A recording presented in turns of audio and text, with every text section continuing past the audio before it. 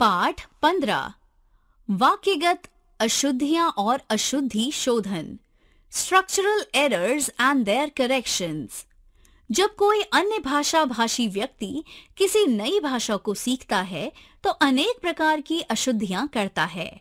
अशुद्धियाँ होने का प्रमुख कारण है उस भाषा के नियमों की सही जानकारी न होना। उदाहरण के लिए, अंग्रेज़ी तथा हिंदी भाषा में पदक्रम संबंधी नियम इस प्रकार हैं। हिंदी। वाक्य में पहले कर्ता फिर कर्म और अंत में क्रिया आएगी। जैसे, कर्ता, कर्म, क्रिया। एक, बच्चे किताब पढ़ रहे हैं। दो, माँ खाना बना रही है। अंग्रेज़ी, वाक्य में पहले कर्ता, फिर क्रिया और अंत में कर्म आएगा। जैसे, कर्ता, क्रिया, कर्म।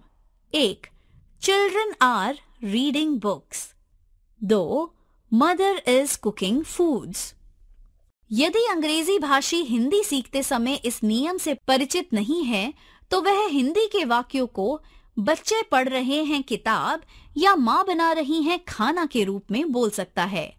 नियमों की सही जानकारी न होने पर अन्य भाषा भाषी ही नहीं, मातृभाषा भाषी बच्चे भी अशुद्धियाँ कर सकते हैं। भाषा की अशुद्धियों को धीरे धीरे अभ्यास से ही दूर किया जा सकता है। नीचे कुछ अशुद्ध वाक्यों तथा उनके शुद्ध रूपों के उदाहरण दिए जा रहे हैं। अशुद्ध वाक्य, शुद्ध वाक्य। एक, कलम यह किसकी है? यह किसकी कलम है?